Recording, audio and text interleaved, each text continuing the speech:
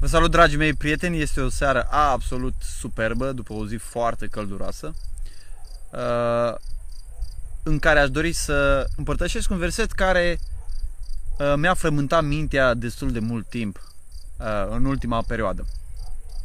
Acest verset se găsește în Roman, capitolul 9, versetul 1, unde Apostolul Pavel spune că el are o durere necurmată în inimă și o întristare adâncă, profundă, Uh, atât de mare durerea lui și întristarea lui încât dorește ca el însuși să fie anatema pentru uh, frații lui, rudele sale trupești, adică pentru poporul Israel.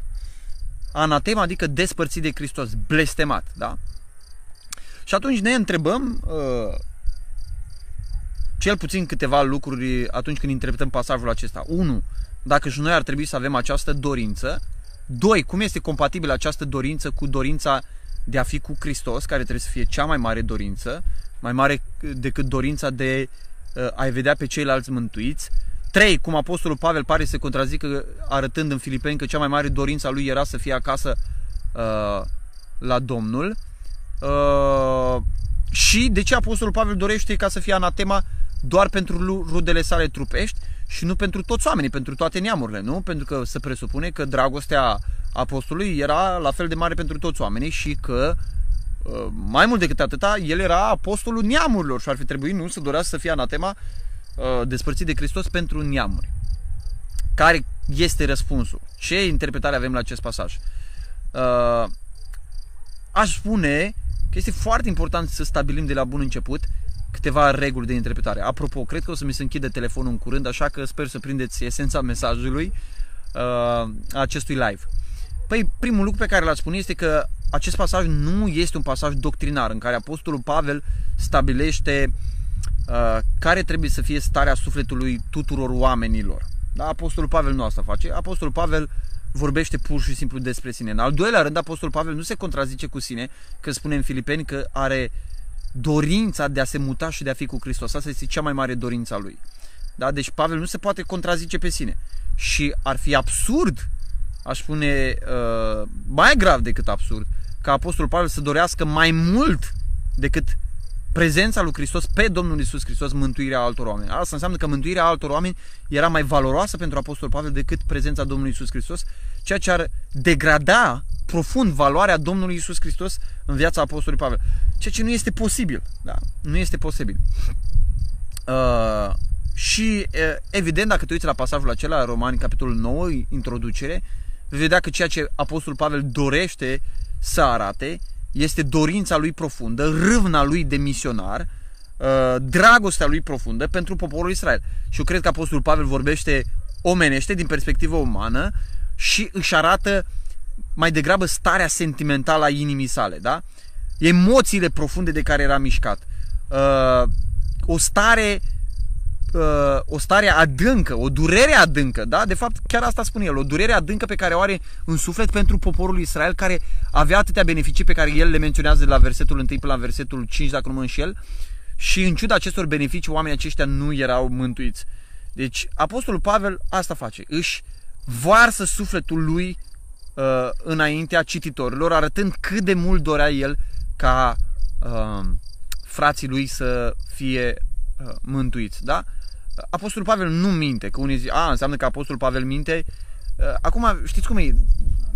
De asta este bine să facem uh, puțină literatură, măcar puțină, să studiem puțin literatura. Și să înțelegem că și autorii Sfintelor Scripturi au folosit metafore, au folosit hiperbole, au folosit figuri de stil. Uh, la fel cum Biblia vorbește despre mâna lui Dumnezeu, ochiul lui Dumnezeu, urechea Domnului, Domnul merge sau așa mai departe, se folosește antropomorfisme, adică forme omenești sunt atribuite lui Dumnezeu sau antropopatisme uh, se atribuie anumite pasiuni sau sentimente ale oamenilor lui Dumnezeu. Trebuie să înțelegem că Biblia este scrisă în limbaj omenesc și că unele pasaje sunt înțelese bine atunci când uh, înțelegem uh, aceste figuri de stil, metafore, hiperbole care sunt folosite în pasajul Sfintei Scripturii. Deci nu, nu este vorba despre o minciună pe care o spune Apostolul Pavel în pasajul acela, ci este vorba despre o descriere uh, a stării inimii sale uh, față de poporul Israel și dorința lui profundă ca acești oameni uh, să fie mântuiți. Uh, și noi obișnuim să spunem lucrul acesta în limbajul nostru uzual când uh, copiii noștri sau anumite persoane foarte dragi suferă și noi spunem că mai degrabă am murit noi și am purtat toată suferința lor și așa mai departe uh, uh, și am preferat lucrul acesta decât să vedem pe ei uh, suferind. Uh, din toate interpretările pe care le-am citit, aceasta este interpretarea care mi se pare cea mai uh, potrivită și care este în concordanță cu toate celelalte texte din Sfânta Scriptură. Și aș spune, dacă o interpretare ni se pare nouă, ni se pare absolut fantastică, dacă ne apropiem de pasaje ca și acestea cu un literalism fix, fixist și nu permitem absolut uh, niciun fel de folosire a unor expresii metaforice sau unor figuri de stil, eu cred că dacă facem lucrul acesta, ne vătămăm pe noi singuri și ajungem să distorsionăm Sfânta Scriptură și ajungem la asemenea interpretări atunci când nu luăm în calcul toate versetele din Biblie. Tot ceea ce ne spune Biblia despre lucrul respectiv. Exact ca și în cazul acesta. Oare uh, ceea ce spune Pavel în alte pasaje despre dorința lui profundă de a fi cu Domnul Isus Hristos, despre faptul că el ar da absolut totul, totul consider ca un gunoi să-l aibă pe Hristos. Oare versetul acela este anulat de acest verset unde Apostolul Pavel spune că el preferă să fie anatema despărțit de Hristos pentru frații lui? Evident că nu se poate contrazice, da? Uh, Apostolul Pavel pe sine. Ci Apostolul Pavel în versetul acesta, aceasta este concluzia, Apostolul Pavel își varsă inima lui uh, în fața cititorilor, audienței sale din Cartea Romani, spunând cât de mult dorește el ca frații lui uh, trupești, evrei, să fie uh, mântuiți. De aici nu putem să facem absolut nicio doctrină pe care să o aplicăm tuturor oamenilor. Dar am putea să ne uităm la Apostolul Pavel și să ne întrebăm pe noi înșine cât de mult dorim noi mântuirea celorlalți. Dacă în inima noastră există pasiunea profundă ca oamenii să fie mântuiți. Dacă avem râvnă pentru mântuirea oamenilor. Dacă facem ceva pentru mântuirea oamenilor.